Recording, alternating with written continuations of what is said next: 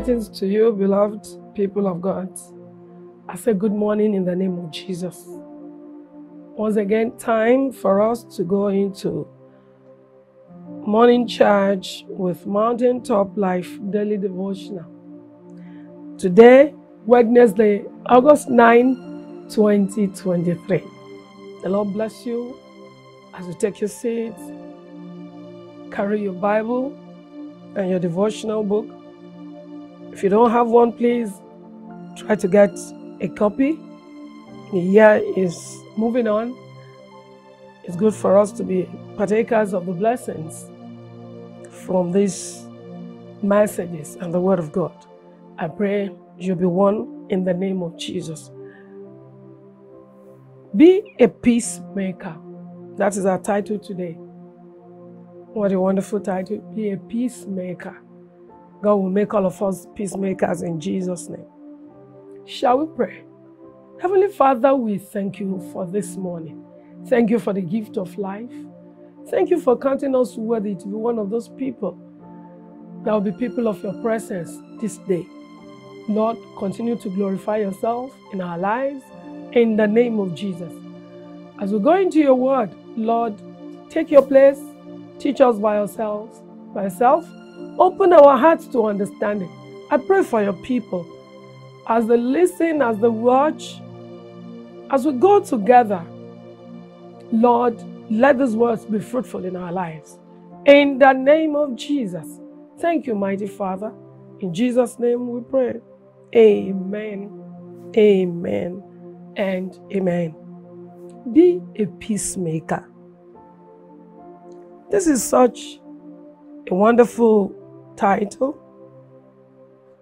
It is not just um, for us to be peacemakers, to be, to be a peacemaker. It simply means for you to make peace, you must be a peaceful person yourself. Myself. Look at the memory verse. Blessed are the peacemakers, for they shall be called the children of God. Matthew 5 9. Are you a child of God? Then you must be a peacemaker. Because that's your title, that's your hallmark, that's your traits, that's one of the characteristics of what makes you a true and genuine child of God. And as a peacemaker, you are blessed. I'm also interested in today's motivational quote. It says, Be a peacemaker, not a peace taker or a peace talker. Oh, yes. I just added that. Somebody can just talk peace but not really make peace. You know? And somebody can also be a peace taker. When you get to somewhere, instead of making peace, you actually help to withdraw peace. I want to say this morning that being a peacemaker is not a title, is not a name, it is by action, it is in doing. With your permission, a person can bear uh, sister peace or brother peace. I don't mean any harm by that. But truly, that you bear such a name does not make mean that you do it. But here God is telling us, be a peacemaker. It is in the doing, not just by bearing name. So how can we be peacemakers? Who are we? What are we supposed to do to be peacemakers? Today, our first scripture is Judges 4, 6 to 16. We're looking at the life of Deborah, a prophetess and a judge. Of course, from what is written about this woman, we could conclude, we can conclude that she was a peacemaker. Because the Bible tells us that she will sit under the palm tree. And then when her people come to her, she will settle their disputes. Don't forget, she's a judge. And being a prophetess, she could see beyond the physical. So if Deborah was a woman that settled peace in her community, then it means she brings or she, she brought at a time peace to people. when there are relationships that are giving way, break it up. As a judge, as a prophetess, as a mother in Israel, Deborah helped to mend the fences. It helps to resolve the differences. And she will bring them back again. No wonder they call her the mother in Israel. She was a woman who was not busy doing nothing, busy talking, being a busybody, chatterbox, you know, going from one home to another, backbiting, blackmailing, slandering people, speaking negative words, and being malicious or anything evil. Rather, she was a lover of peace, and not just a lover of peace, she was a peacemaker. No wonder when it was time to war, to go to war, and Barak could not go alone, he invited Deborah. And Deborah sought the face of the Lord, and they defeated Sisera. Was yet another woman that put him to death, finally, Jael. But what are we learning here? It is that we should, we should, as Christians, bring peace to the life of people. Beloved, if you are truly a child of God who believes in one and only Jesus Christ, our Lord and Savior, Bible calls him the Prince of Peace, Emmanuel, God with us. Go to Isaiah chapter 9, verse 6. You see that title there even before he was born. Why? He came to make peace in the world. You will see it in the book of Ephesians, chapter 2, where through his death, he reconciled us to God and made peace between us and God. He broke down the wall of partition that was between us, that our sins will not make us to access God. He removed every hindrance so that we can call on the name of the Lord and God will answer us.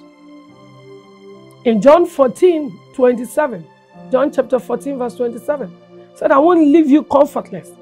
You will not be alone. I'm going to leave you in the hand of the Comforter, Holy Spirit. And today, beloved, we're in that dispensation. So God our Father is the God of peace. He himself is called Jehovah Shalom. God of peace. Jesus Christ, Prince of Peace. And of course, we have the Comforter himself, the Holy Spirit. He won't comfort without bringing peace. And so, anyone who will claim to be a child of God, who will claim that Jesus is, is Lord and Savior, and that the Holy Spirit, the Spirit of God, lives inside of him, will definitely be a peacemaker. You can't be a troublemaker, because that's the opposite. God wants us, nothing short of this, to make peace wherever we are in our home, workplace, marketplace, church, community. Matthew chapter 5, verses 13 to 16. The Lord says, Ye are the salt of the earth, ye are the light of the world. It comes with peace. In verse 6 says, Let your light so shine, so that the name of God your Father will be glorified in heaven. You cannot confess the name of Jesus and then you will be a troublemaker. No. Salt gives taste. Salt preserves. That is the life also of a peacemaker. Light illuminates, it shines bright, it brings life. The same thing with salt.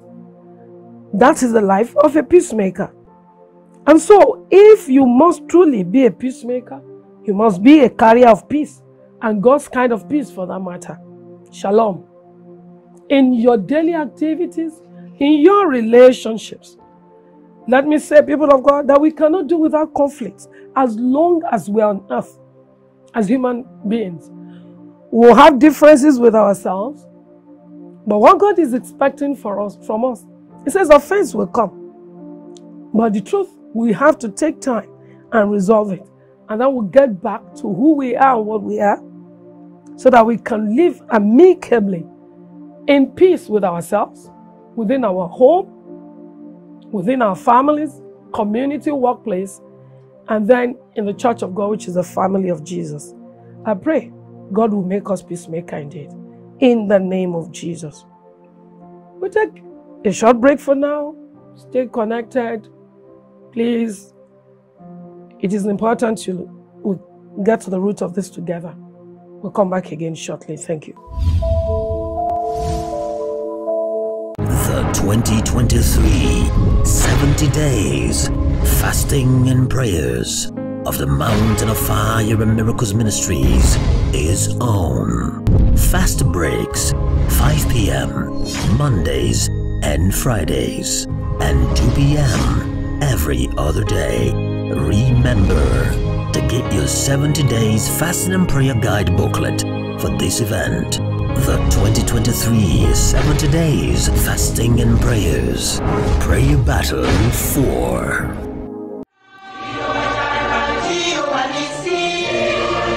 Mountain of Fire and Miracles Ministries. Surely the Lord is here. Have you gotten a copy of the 70 Days Fasting and Prayers booklet?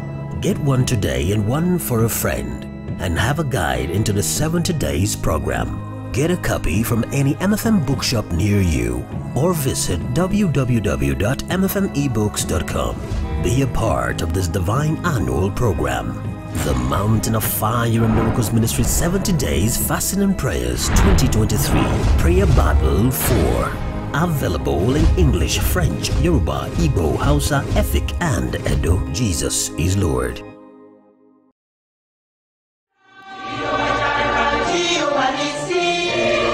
Mountain of Fire and Miracles Ministries. Surely the Lord is here. Praise the Lord. You're welcome back once again. Peacemakers, children of God. We just spoke about living amicably. Please write these ones now. Psalm 133, verse 1. First, Psalm 133 is very short, like three verses. Say, how pleasant and how good is it for brethren to live together in unity. This is the mind of God for the church. We need to be in unity. And we cannot be in unity except there is peace. I make peace, you make peace, we make peace together. And the peace reigns in our midst, in our families, in our communities, in our workplace, in our nation. Don't say, well, there's trouble everywhere. You start it, beloved.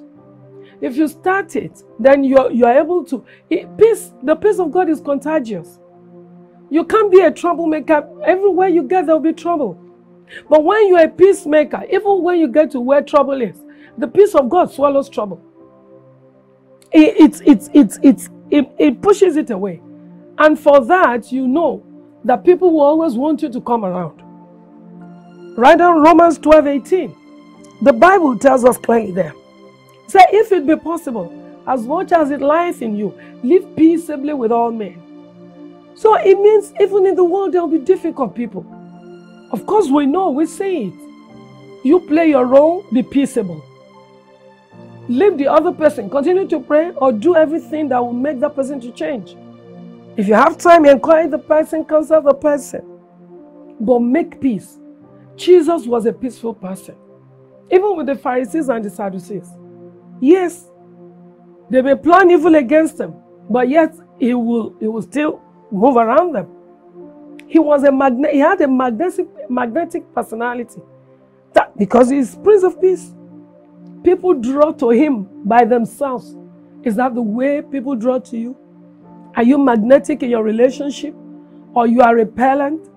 Repellent because people will not want to come to you. Oh, when they see you, it's that even if three or four are gathered, when you come, they will scatter.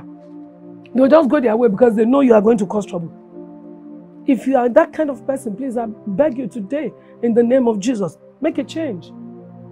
Listen to the word of God again in Hebrews 12 14.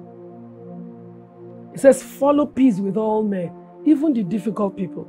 Find time, find a place for them. And then let me even encourage you or counsel you don't whosoever, the Bible says, God hates the one who sows discord and brings strife among brethren. So if you see such a person, if you can't change him or her, then please don't become like him or her.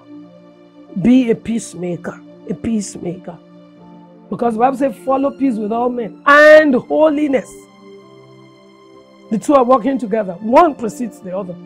Don't tell me you are holy when you are not a peaceful person. You know, I started by saying the peace you want to make is the peace you carry. Is a peace that is manifested in your life and in your relationship. And you you you you you move around with people with that peace around you and all over you. And so, if you that peace is there, then there's holiness. And of course, you'll be ready to see the Lord. I pray for you, pray for myself. We shall see the Lord in the name of Jesus. And anything that wants to stand against the peace of God in our lives, the Lord Himself shall deal with them in the name of Jesus. I said it, it comes from within you. Even God Himself spoke in the book of Isaiah 26 3 said, Thou shalt keep him in perfect peace, whose mind is stayed on you because he trusts in you. Do you trust in God? It will keep you in perfect peace. Doesn't mean you won't have trouble. Sometimes you will even put your trouble aside to go and help others and make peace. And the world will never forget you. Abraham made peace with Lot. When their, their headsmen, their followers were going to be at loggerheads. Not because Abraham was older, no, he was a, a friend of God, the Bible called him. So, he had to make peace, conflict resolution. And by the time he said, Let your men go this way, we go this way. But you made your choice first.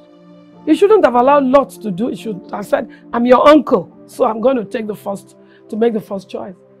But with the spirit of humility and brokenness, the peace of God in him, he loved Lot, and so he told him, make a choice. Lot did, and of course, he chose by sight. He chose what he thought was good, and that ended up being Sodom and Gomorrah. It was still the same Abraham that interceded. Else, Lot would have been dis destroyed. Who are you, brother, sister? Would you do the same? Will you even intercede for that kind of cousin or uncle or brother or sister or auntie? Won't you say, Well, can't you see what he did for me the other time? How am I going to do that? Remember, sometimes we too fall short of God's glory. If it were not mercy, none of us would be standing. Bible says, if God is to call on those who have sinned, who could stand? Nobody. Is by His mercies, which are every day coming up, that we are alive. Joseph, you can imagine. This was a man who should hate his brother with perfect hatred. This they, they sold him to poverty. They believed that his life was going to be destroyed.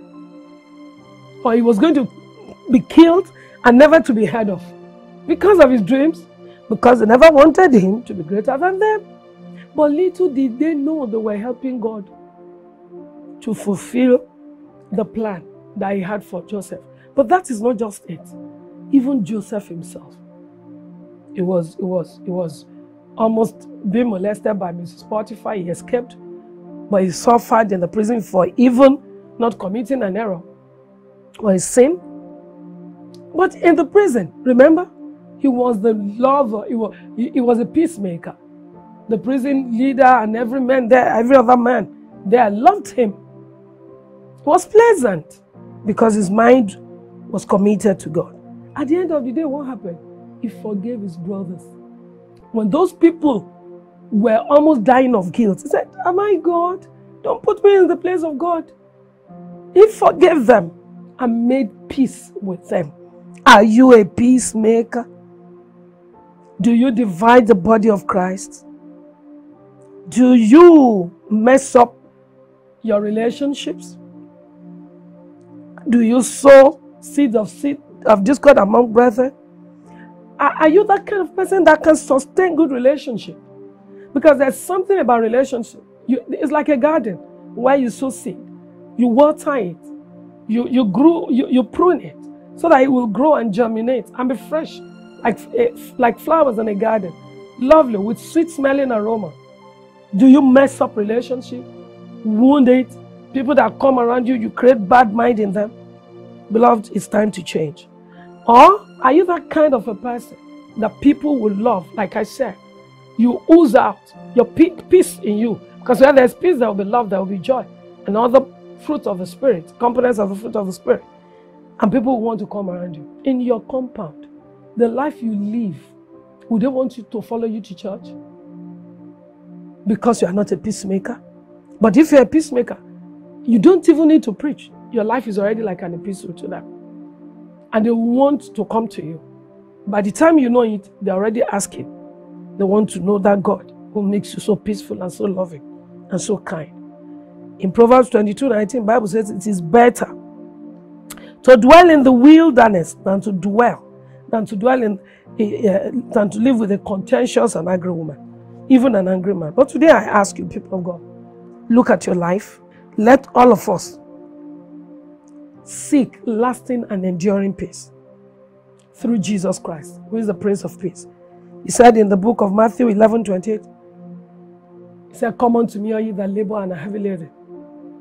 What is it that is troubling your heart that will not allow the peace of God to, to stay? Today, the hand of the Lord will destroy it, take it away, and give you peace in the name of Jesus. Lay your troubles, lay your anxieties and worries at the feet of Jesus. And when you do, He will give you rest. His rest and peace are the same. He went on, he said, My Lord, my yoke is easy, my burden is light. Said, Learn of me, I'm, I'm lowly and meek, and you will find rest for your souls. May you receive rest in the name of Jesus. And where you find godly rest, peace is there. Stay peaceful in the name of Jesus. We're going on a short break and we come back to the final segment of this devotional. God bless you. Determined to move your family from mockery to miracles. Break every jinx and spell working against your family. Destroy every evil pattern working against your family. Break every family curse working against your family. Receive stolen and lost glory off your family. Put your family in the envelope of the God of Elijah. These six powerful agendas will be dealt with on the 9th, 16th, and 23rd of August 2023. It's the August Special Manna Water Service theme on Cage Your Family. Dr. D.K. Olukoya, the General Overseer, Mountain of Fire and Miracles Ministries, will be ministering live from the MFM International Headquarters, Lagos, Nigeria, 0430 p.m. WAT. The August Special Of Water Trio. Come reposition your family with these divine steps aligned to put a family in place. This program will be available in all our social media platforms Facebook, YouTube, Instagram, Twitter, and Mixlr. Don't forget MFM Television. Come fasting to this program with a list of family names, a bottle of oil, and of course, a bottle of water. Jesus is waiting for you. Mountain of Fire and Miracles Ministries. Surely the Lord is here. Praise the Lord. We've been talking at, on being a peacemaker. We have heard about Jesus, the embodiment of peace, the Prince of Peace himself, the giver of peace and peace himself.